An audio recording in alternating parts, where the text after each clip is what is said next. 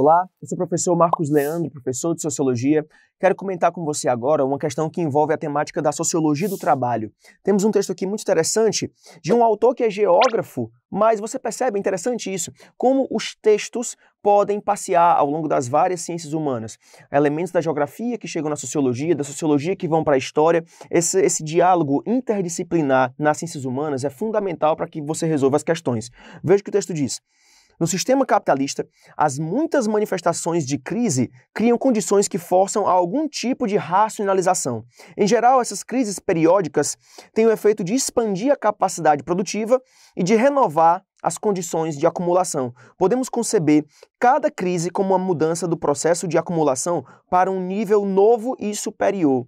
Veja, o que o autor quis dizer é que, na medida em que você tem mudanças em algum ponto da lógica capitalista, essa mudança não se restringe a esse único ponto. Efeitos colaterais não só não são necessários, como eles são incontestáveis, eles vão acontecer reestruturando, reformulando, né, reorganizando a lógica de produção capitalista.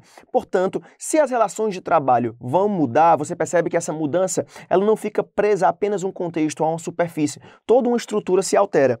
A condição para a inclusão dos trabalhadores no novo processo produtivo descrito no texto é a associação sindical. Não, você percebe que essa associação sindical ela é algo que existiria independentemente das mudanças do, do, nível de produção. Veja, se surge uma nova tecnologia, essa nova tecnologia não tem uma vinculação direta com a necessidade ou não de uma vinculação sindical. Portanto, a alternativa está errada. A B diz participação eleitoral. Também não. Estamos falando aqui de sociologia do trabalho. Essa alternativa indicaria alguma coisa política, então está errada, está errada a alternativa B. A C diz migração internacional. Apesar de a gente saber que dentro da lógica produtiva e da sociologia do trabalho, a migração se fazer necessária, dependendo do contexto, você percebe que essas mudanças que ocorrem nas últimas décadas, elas não estão obrigando diretamente a uma mudança migratória, e sim numa questão mais de profissionalização das novas tecnologias. Uma nova tecnologia chega.